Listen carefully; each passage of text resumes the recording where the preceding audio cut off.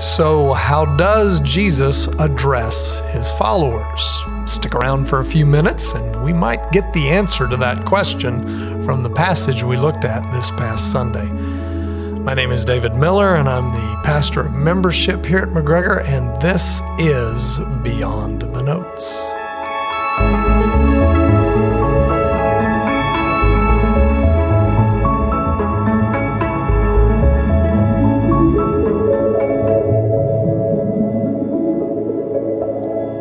Of the points that I made in my sermon this past Sunday was that for those who follow Jesus, he calls us his friends. We're not just making that up, we're actually getting that from John 15, verses 14 and 15, two of the verses we looked at on Sunday. Jesus says this in those verses You are my friends if you do what I command you. No longer do I call you servants, for the servant does not know what his master is doing but I have called you friends, for all that I have heard from my Father, I have made known to you. So, the answer to the question, how does Jesus address those who follow him, is as his friends. Theologian A.T. Robertson calls this statement a permanent state of new dignity for the disciples. I just love that. There are certain people that Jesus calls his friends, and it's only those that he saves. And the assumption about the friends of Jesus is that his friends are those who do what he commands them to do. That so that phrase, if you do what I command you, is not about earning your salvation. We know that salvation is by grace alone, through faith alone, in Christ alone. But Jesus is simply truthfully stating an observable fact about those who follow Christ. Pastor Russell made a similar point two Sundays ago when he summed up the first part of John 15 by saying, those who are Christ followers follow Christ. It's not much harder than that. Jesus only calls saved people his friends because by his grace we end up doing what he commands us to do. Someone who does what Jesus commands is his friends. And someone who does not do what Jesus commands them to do is not his friend. And that's true because salvation in Christ is not only always permanent, but salvation in Christ is always transformative, which means it does something. Salvation changes us, and God produces obedience in those who belong to Christ so that God might get the glory and it might be evident that we belong to Christ. So, after sharing this message on Sunday, I had a really good question asked of me by two different people, same question. And uh, the question that they had is this If Jesus only calls those who are truly saved his friends, then what about Judas? Wouldn't Judas have been included in that group that Jesus addressed that night? And I just absolutely love the question because the, the implications of it are important. Because, see, there are some professing Christians today that would believe that Judas was a Christian. I'm not in that camp. I don't believe he was truly saved. And I think there are several indications in Scripture that make that clear. But if he was, then it would be a problem then if Jesus called Judas a friend in John 15, wouldn't it? But he didn't. How do we know that? Well, See, John 13 through John 17, those chapters, that's one long conversation that Jesus has with the disciples. And it began in the upper room, but eventually that conversation moves to the Garden of Gethsemane. And this moment where Jesus calls the disciples his friends in John 15 is during that walk to the Garden of Gethsemane. And by that time, Judas had already left. We know that from John 13. We know that's the point where Judas left the rest of the disciples and Jesus. Let me read it to you in verses 21 through 30 in John 13. The Bible says, After saying these things, Jesus was troubled in his spirit and testified, Truly, truly, I say to you, one of you will betray me. The disciples looked at one another, uncertain of whom he spoke. One of his disciples, whom Jesus loved, that was John, by the way, uh, was reclining at table at Jesus' side. So Simon Peter motioned to him to ask Jesus of whom he was speaking. So that disciple, again, that's John, leaning back against Jesus, said to him, Lord, who is it? Jesus answered, It is he to whom I will give this morsel of bread when I have dipped it. So when he had dipped the morsel, he gave it to Judas, the son of Simon Iscariot.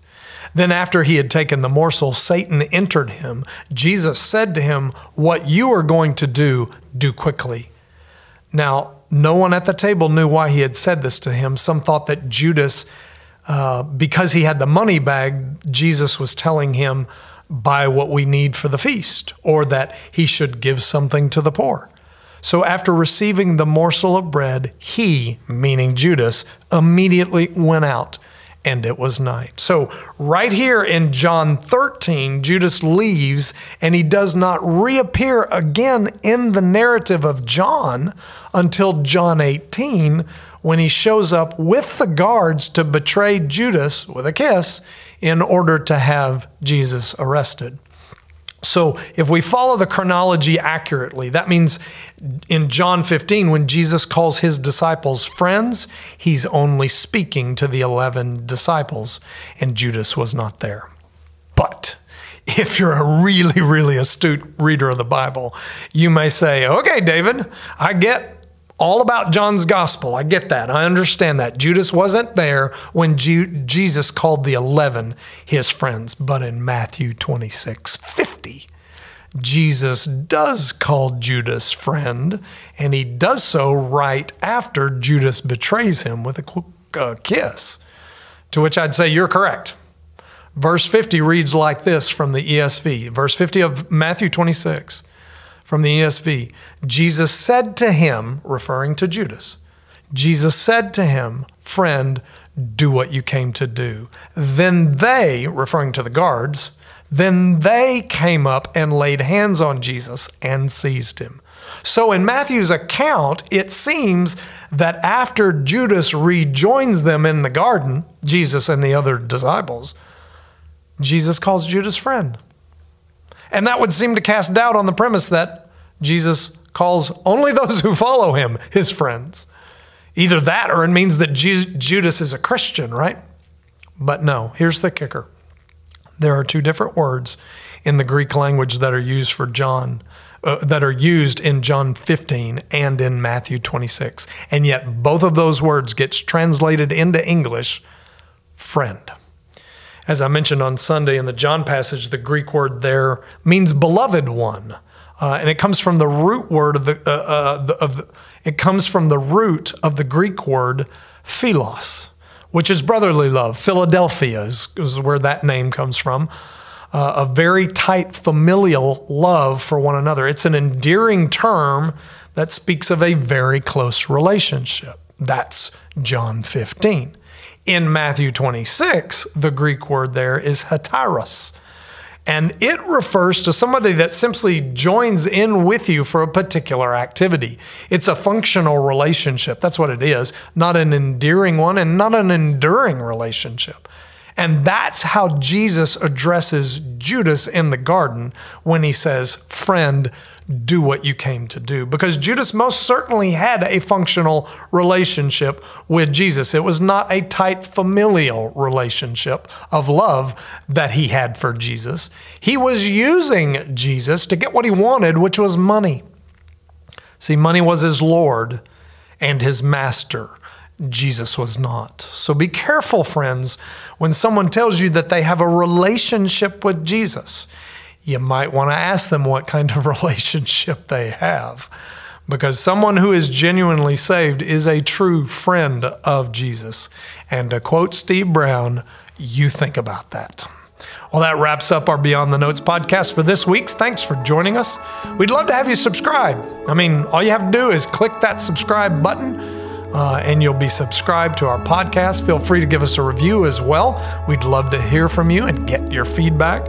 We also have other podcasts too, besides Beyond the Notes. So you can hop over to McGregorPodcast.com, find out all about what else we have to offer. And if this episode encouraged you, share it with somebody today. Now, if you want to be ready for next Sunday's sermon, then we will be continuing in John 15. We'll pick up in verse 17 and go all the way through verse 27 and finish out the chapter. So, read ahead, and we'll see you on the next Lord's Day. Have a great week.